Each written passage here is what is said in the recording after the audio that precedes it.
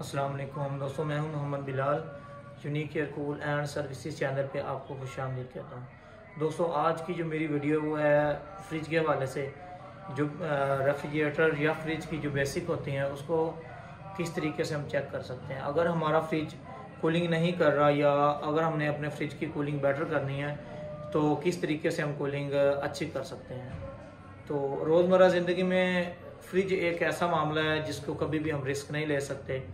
और ये घर की एक ऐसी आइटम है, ऐसा एक प्रोडक्ट है, जिसकी जितनी सेफ्टी की जाए, उतनी ही कम है।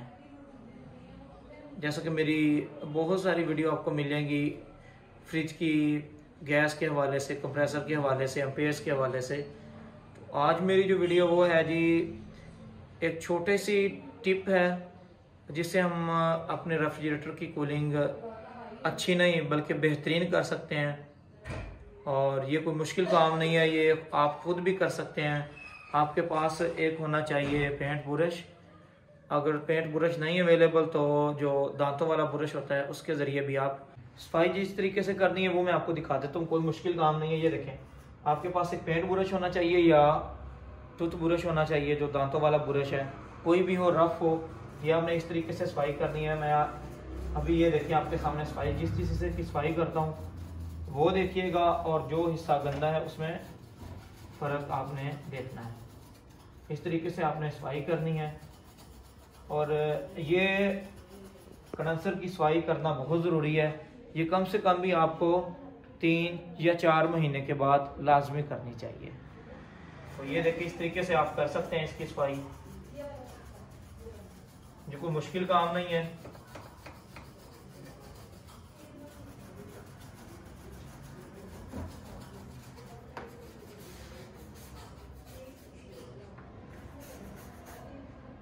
इस कंडेंसर की सफ़ाई से, एक तो इसका कंडेंसिंग का जो सिस्टम है, वो अच्छा हो जाएगा, आपकी कूलिंग अच्छी हो जाएगी, और सेकंड कंप्रेसर की लाइफ ज़्यादा हो जाएगी। कंप्रेसर जो हीटअप होते हैं, वो हीटअप नहीं होंगे।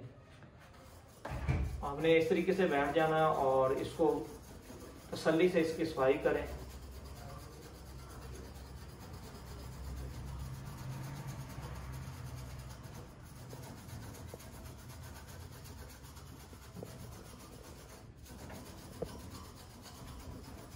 तसली सफ़ाई करने के बाद अब जो स्टेप टू है वो मैं आपको दिखाऊँगा दे हमने क्या करना है। ये नीचे से भी इसकी ज़रा सफ़ाई करनी है हम। इसके साथ ये ट्रे वगैरह भी हो जाएगा और ये, इसका स्टैंड भी।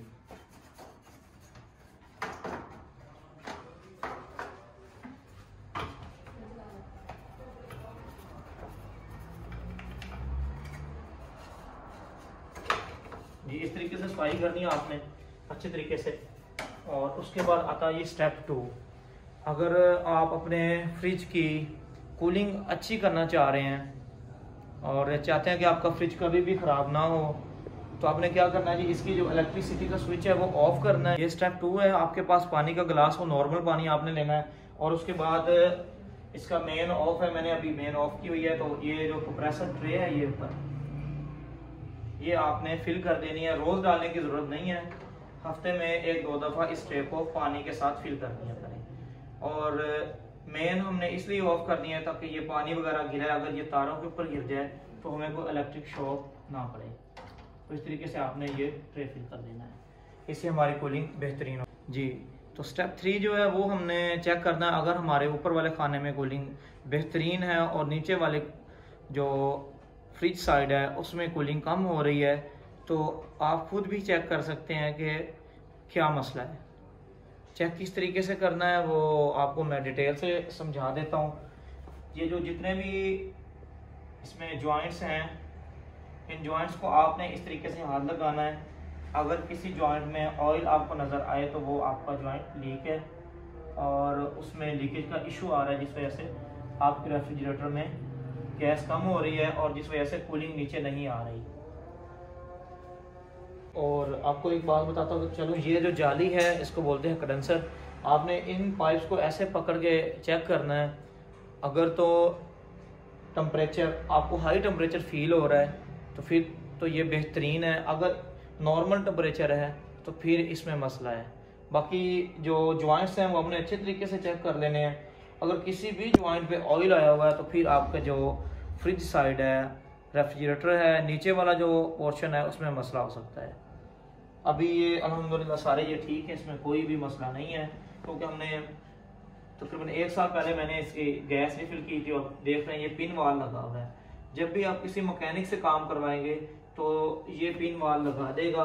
इसमें ये तो चलिए वीडियो लंबी किए बगैर हम चलते हैं प्रैक्टिकल की तरफ़।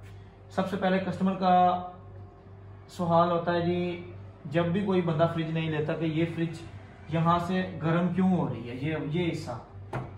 ये जो सारा बॉर्डर है, ये दरमियान से और ये right side left side up side आप जब फील हाथ लगाएँगे तो आपको फील होगा जी हाँ ये इसका टेम्परेचर थोड़ा सा ज़्यादा है।